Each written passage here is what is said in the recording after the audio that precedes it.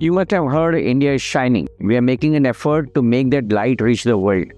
We got buyers from 101 buyers from 26 countries as a hosted buyer where we have provide them hotel accommodation when they, they come with their own plate or own ticket. Now these people are genuinely serious buyers.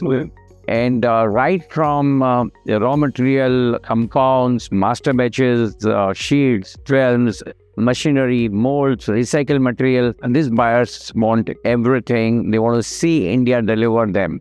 The buyers are from neighboring countries, from Middle East, from Europe, Canada, Uh, UK. So a lot of these good buyers have come here. We have provided a separate facility in Plastivision for international buyer seller meet. So there can be focus meetings.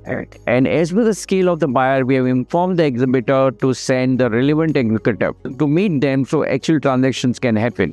The buyers have had fantastic experience. They, they loved. Some of these people are coming to India for the first time, especially for this event.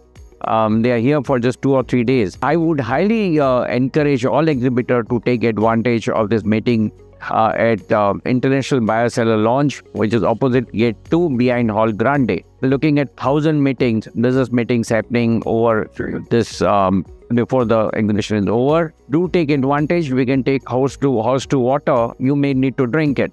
The exhibitors need to log into their exhibitor portal and uh, schedule that B2B meet they're welcome to come here. Our staff is around to help them to uh, schedule the meetings. Do take advantage, grow, and generate a lot of jobs for world's largest workforce. It's our duty, our national duty. So far, we have had uh, uh, nearly 500 uh, fruitful meetings between buyers and sellers.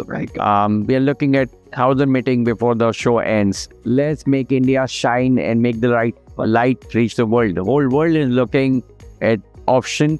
Um, this is our chance to make it happen. I know. Thank you.